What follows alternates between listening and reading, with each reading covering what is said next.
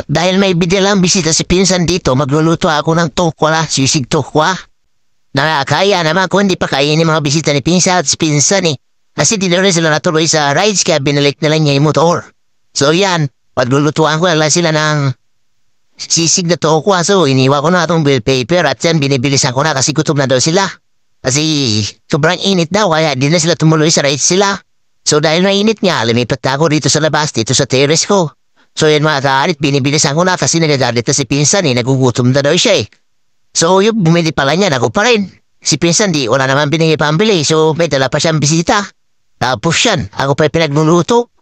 At yan, dahil may binigla akong hook sa Divisoria, so ginamit ko na rin kapon ko sa bili.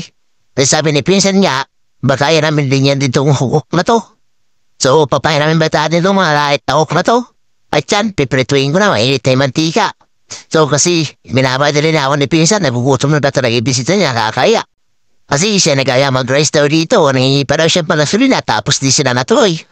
So yun mga kaanit, di pa nga binalik 50. Tapos to, magpapaluto pa. At dala pa talaga ng ibang bisita. Grabe naman si Pinsan talaga.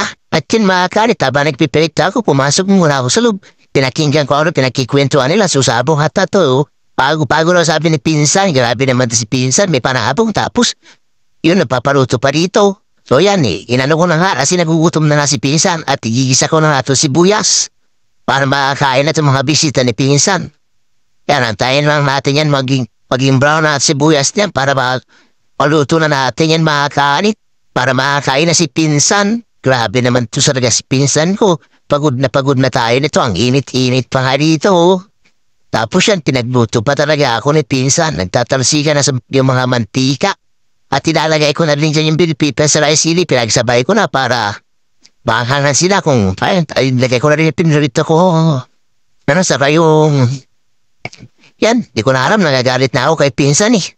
Nainis na ako yung paminta, nilagdagan ko rin marami. Dinagdagan ko rin mayronis para ma, ano sila, ma, fumay. At saan, luto na ma, kanit, tuwang-tuwa na si Pinsan no. Yan, at sabi niya, ang bagal-bagal ko na pa, okay-okay pa ako, video-video pa raw yun. Naiinip na no. Diba, tumatawa-tawa pa. Isa email lang email. So yan, dahil gutom na ako, kumain na rin ako mga kanit. So, kumain na si Pinsan. Bye.